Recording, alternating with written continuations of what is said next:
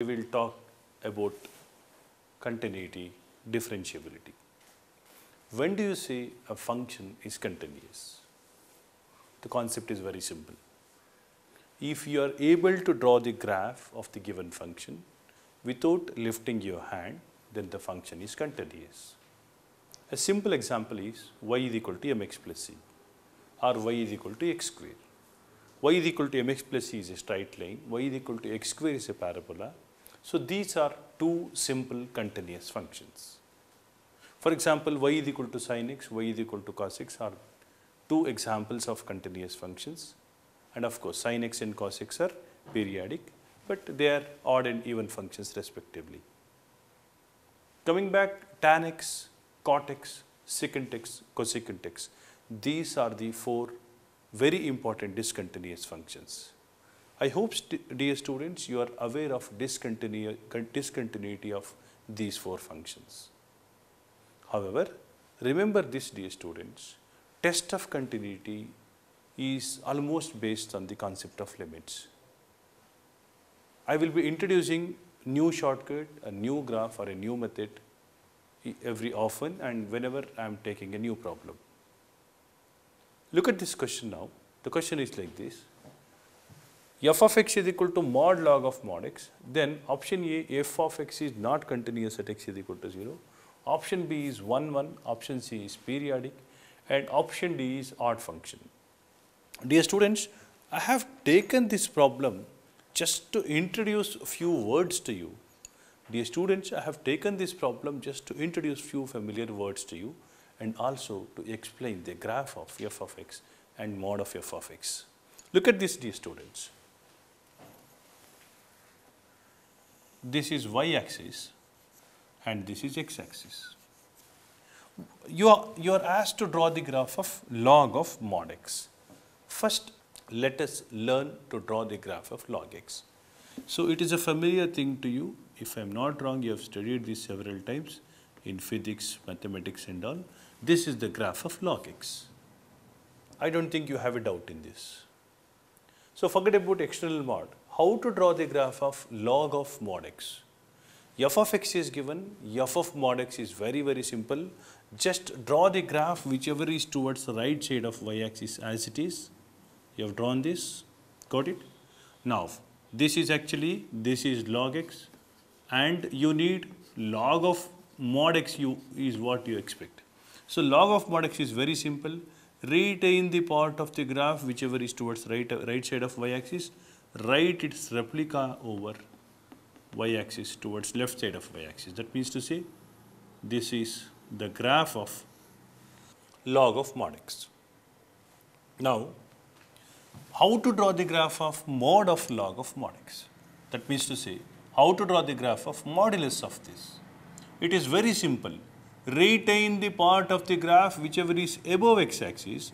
Write the replica of the part of the graph whichever is below x axis. That is what you have to do here. That means to say observe carefully. Once again I am drawing it. See, this is this is actually log of mod x. This just now I have explained you this. Right? Retain the part of the graph which is above x axis. Got it? I have retained it. Step number 1. Step number 2 is just draw the replica of the graph whichever is below x axis above the x axis. That means to say you draw the replica of this. So, this is mod of log of mod x. This is mod of log of mod x. Got it? Now, looking at this dear students, let us start answering the question. F of x is not continuous at x is equal to 0 is very much true. You can see at this particular point, at this particular point, function is not continuous. Why it is not continuous? The reason is very simple. You can see the graph. The graph is like this and it takes break here. There is a break. Exactly when x is equal to 0, log 0 tends to minus infinity. Right? Whereas mod log 0 tends to plus infinity. However, y axis, this y axis is called as asymptote to the graph. What do you mean by the word asymptote? A line which meets the curve at infinity is called as an asymptote. Here, y-axis is the asymptote to the graph. Definitely, f of x is not continuous at x is equal to 0. So, my job is over. I got the answer. Option A is correct. Then I did not have to talk about B, C and D, but I have taken this problem intentionally to introduce few important concepts. Look at this, f of x is not continuous at x is equal to 0 is good. Can we talk about differentiability using this graph? Yes, we can. What is that? The function is not differentiable at these two points. Practically, graphically speaking, wherever you have a sharp edge, at those points function is not differentiable. Therefore, at x is equal to 1 and x is equal to minus 1, function is not differentiable. Of course, it is not there in the answer, no need to worry, but still. How did you say that this is 1 or 1 comma 0? It is very simple. Log x meets x-axis at 1 because log 1 is 0. And similarly, log mod x meets x-axis at minus 1 and 1 both because log of mod of minus 1 is log 1 and log 1 is 0. Function is not differentiable at x is equal to minus 1 and x is equal to 1. Are those are the only two points where the function is not differentiable? No, there is one more point. What is that? when x is equal to 0 also function is not differentiable because function is not continuous at x is equal to 0. Mod of log of mod x is x is equal to minus 1, x is equal to 1 and x is equal to 0. Very important. Coming to the next part. Is it 1 1? No, it is not 1 1. What is the reason? Just draw a line parallel to x axis. A line parallel to x axis meets the graph at more than one point. Therefore, the function is not 1 1, it is definitely many 1 speciality of many one functions is a line drawn parallel to x-axis definitely meet at least at more than one point or at least two points. So therefore, it is not one one. Is it periodic? What is what do you mean by the word periodic?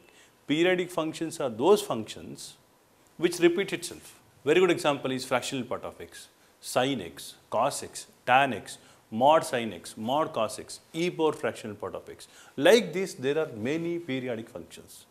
Periodic functions are those functions which are which are going to repeat after a certain interval. So definitely it is not periodic. It is not one one. It is an odd function. What do you mean by the word odd function? Odd function means f of minus x is minus f of x. It is an odd function. Sin of minus x is minus sin x, odd function. Tan of minus x is minus tan x, odd function f of x is equal to x because f of minus x is minus x is there is also that is also odd function. Then what is even function? If f of minus x is f of x then the function is even. Graphically speaking if y axis acts as a mirror for the given graph then it is an even function. A very good example is cos x. Cos x is an even function the reason is if you draw the graph of cos x y axis acts as a mirror. Mod sin x is an even function and cos x is an even function.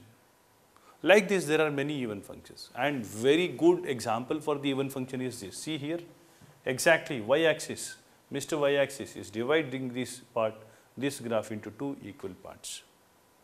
So, very importantly, you should know the graph of drawing the, you should understand the graph of log of mod of log x, that is one thing. And apart from that, you must be able to understand these words.